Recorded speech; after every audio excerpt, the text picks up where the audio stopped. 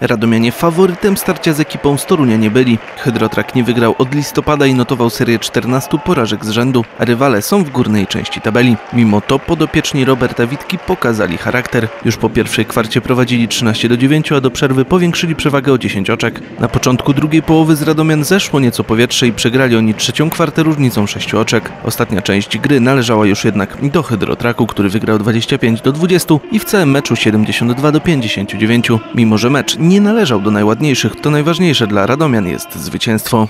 Wiadomo, że potrzebujemy punktów, tak? I e, dzisiaj te punkty zdobyliśmy. E,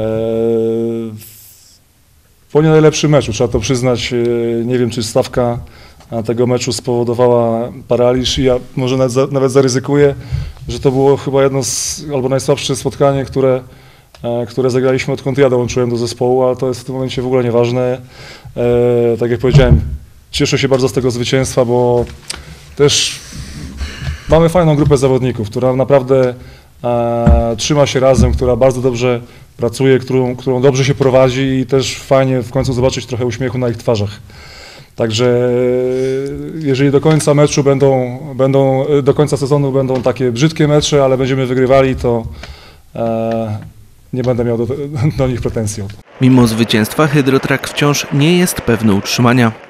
Finalnie, finalnie mamy w końcu to zwycięstwo i mimo, że zostało e, jeszcze sporo ciężkich meczy przed nami, okej, może nie sporo, bo e, cztery, dobrze mówię? Cztery. Cztery, to postaramy się też e, w każdym e, zaprezentować jeszcze lepszą koszykówkę i, i do końca będziemy starali się pokazać na co nas stać. Obecnie Hydrotrak w Energa Basket Lidze ma na koncie 5 zwycięstw i 22 porażki.